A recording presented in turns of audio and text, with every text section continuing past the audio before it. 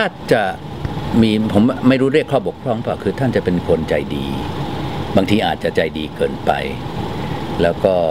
ไม่ค่อยเคยเห็นอารมณ์เสียนะฮะแต่ผมลองถามออจอห์นปีเตอร์ดูเนี่ยก็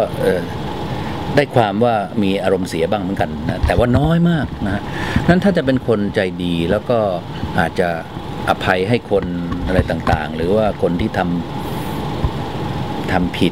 ท่านก็ไม่ได้ดุแบบรุนแรงต่อหน้านะฮะ แต่ว่านี่เรียกข้อบกพร่องไม่ได้ เพียงแต่ท่านจะพยายามเกียร์คนเหล่านี้ไปในทางที่ถูกโดยทำตัวอย่างนะเเพราะฉะนั้นในในแง่นี้ผมไม่เรียกว่าข้อบกพร่อง แต่อาจจะถือว่าเป็นเป็น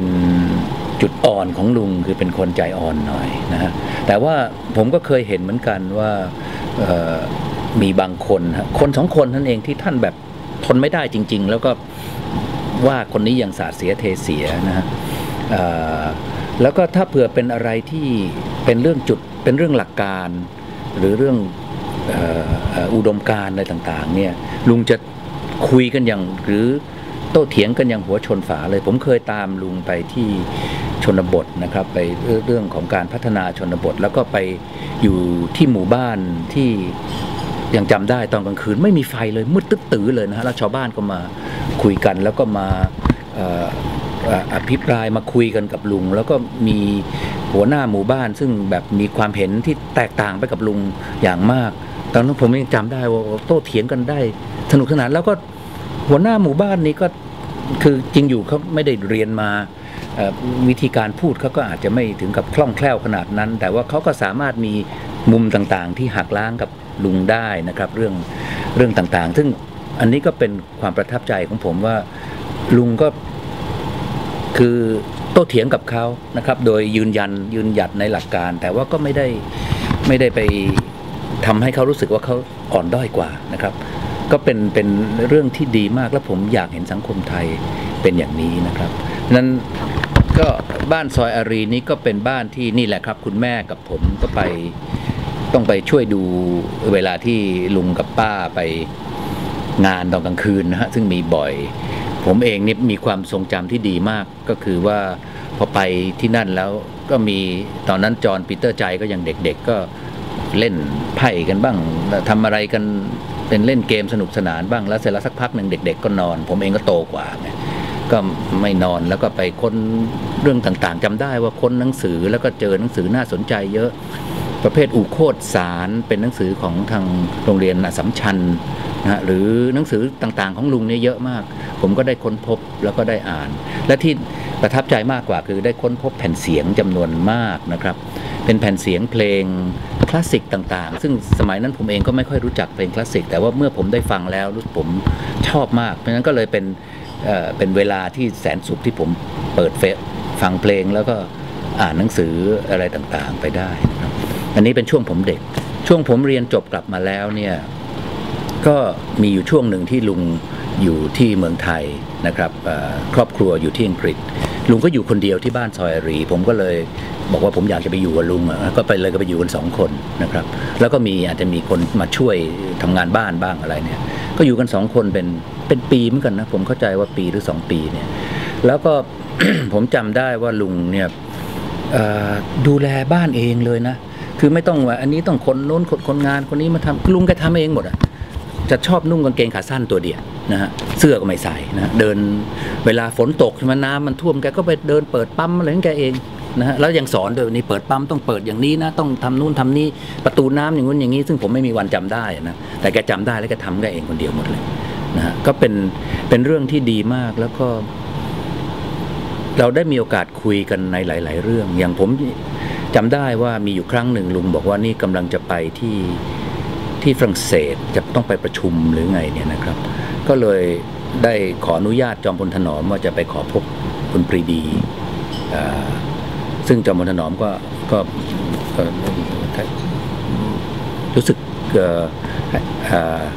ผมไม่แน่ใจว่าฝากอะไรไปบอกคุณปรีดีหรือเปล่า แต่ว่าลุงก็ไม่ได้พบจอมพลถนอม ซึ่งรูปนี้เป็นรูปที่เห็นอยู่เรื่อยๆเลยใช่ไหม คุณป่วยกับปรีดีที่นั่งอยู่ด้วยกันเนี่ยอันนั้นก็เป็นช่วงที่ผมยังจำได้ว่าลุงเล่าให้ฟังว่าเนี่ยจะไปพบกับคุณปรีดี แล้วก็จะเล่าให้ฟังอะไรต่างๆ มีบางตอนที่เราเคยคุยกันว่าอย่างเช่นเรื่องประชาธิปไตย แล้วผมก็ถามลุงไปตรงๆ ว่าทำไมเมืองไทยยังไม่ได้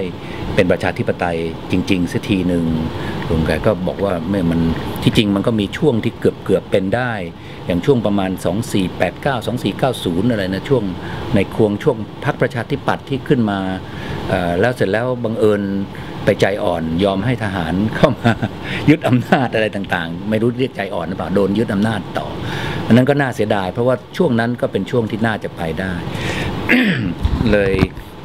ในระยะหลังเนี่ยก็ลุงแกก็บอกว่ามันก็คงเป็นไปได้อย่างช้าในช่วงชีวิตของลุงเนี่ยคงไม่ได้เห็น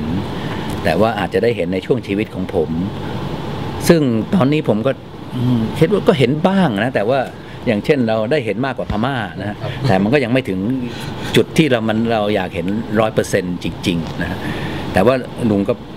พูดในทำนองนั้นนะครับ ก็มีมีมีอีกหลายเรื่อง อย่างเช่นลุงก็บอกว่าเมื่อเกษียณแล้วเนี่ย ก็จะไปสมัครสส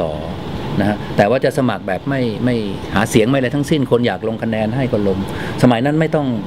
ไม่ต้องมีพรรคการเมืองนะสมัครได้นะครับ แต่บังเอิญก็ในสุดลุงก็ไม่ไม่ไม่ได้มีโอกาสสมัคร คือลุงชอบพูดอยู่เสมอนะครับว่าเมืองไทยเนี่ยก็พอจะไปได้หรอกทางด้านเเศรษฐศาสตร์ ด้านสังคมศาสตร์ก็มีคนดูแลอยู่ แต่ว่าด้านวิทยาศาสตร์เนี่ยยังยัง น้อยนะครับ เพราะฉะนั้นก็อยากจะให้มีการพัฒนาทางนี้ พอดีผมมีอาจารย์ที่ผมรักมากคืออาจารย์สตางมงคลสุข ซึ่งก็เป็นเพื่อนกับลุงป่วยด้วยอาจารย์สตางเนี่ยเป็นคนที่ชวนให้ผมไปเรียนวิทยาศาสตร์ แล้วก็อาจารย์สตางเองเนี่ยก็ได้ได้มีการคุยกับลุงป่วยอยู่เนี่ยนะครับว่าทำยังไงถึงจะสนับสนุนวิทยาศาสตร์ได้ ก็ในที่สุดแล้วเนี่ยท่านได้สามารถที่จะ นำเอางบประมาณนะครับ คือจัดให้มีงบประมาณส่วนหนึ่งที่เอามาช่วยที่มหาวิทยาลัยแพทยศาสตร์ ซึ่งตอนนั้นเเเดี๋ยวนี้เรียกมหาวิทยาลัยมหิดล ตอนนั้นเรียกแพทยศาสตร์เนี่ยนะครับ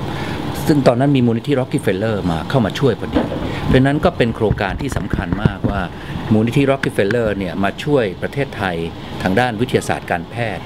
แล้วที่จริงมีอีก 2 ด้านด้วยก็คือด้านเกษตรศาสตร์และด้านเศรษฐศาสตร์นะครับสามเรื่อง โดยทางรัฐบาลไทยก็นำเอางบประมาณมาสนับสนุนด้วยเช่นเดียวกัน ทางด้านวิทยาศาสตร์เนี่ยงบประมาณนี้เนี่ยสามารถที่นำมาทำให้พวกนักวิทยาศาสตร์รุ่นใหม่ๆ ที่รวมทั้งผมด้วยที่กลับมาสมัยโน้นเนี่ยไม่มีทุนวิจัยสมัยก่อนไม่มีอะไรเลยนะครับ แม้แต่เงินเดือนก็น้อยมาก ในที่สุดก็จะต้องไปสอนกวดวิชากันหมดนะแต่ว่าจากเงินสนับสนุนเช่นนี้เราสามารถเหมือนกับมีเงินเพิ่มพิเศษ นะครับในการทำงานวิจัยได้ อันเนี้ยครับทำให้คณะวิทยาศาสตร์การแพทย์ของมหาวิทยาลัยแพทยศาสตร์ ซึ่งต่อมาก็เป็นคณะวิทยาศาสตร์มหาวิทยาลัยมหิดลเนี่ยสามารถทำงานได้เยอะ และต่อมาเนี่ยทางคณะอื่นๆ ก็ทางด้านวิทยาศาสตร์ในในประเทศก็ได้ดำเนินการทำนองนี้เช่นเดียวกัน การวิจัยก็มีการพัฒนาขึ้นและพวกที่จบบัณฑิตต่างๆ ที่จบจากที่ มหาวิทยาลัยมหิดลเหล่านั้นเนี่ยก็กระจายออกไปตามที่ต่างๆนะครับนี่ก็เป็นเป็นเรื่องที่สำคัญมากสำหรับประวัติศาสตร์ส่วนหนึ่งของของประเทศไทย โดยเฉพาะยิ่งในการที่มีการเริ่มการวิจัยกันอย่างเป็นชิ้นเป็นอันครับ